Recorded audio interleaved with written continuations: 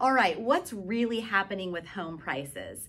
If you've been thinking about selling your house, you've probably been affixed to your TV listening to all of the headlines, and those headlines aren't producing good news. But here's what I'm gonna ask you to do. Take that information into perspective and context. So the media is saying that home prices are just dropping like crazy, and we're not seeing that here in Clatsop County. Here's what happened in November, I'm gonna look just at Astoria. There were only eight sales in our market and the median price was 510,000. In December, there were 11 sales and the median price was 560,000. So clearly not dropping.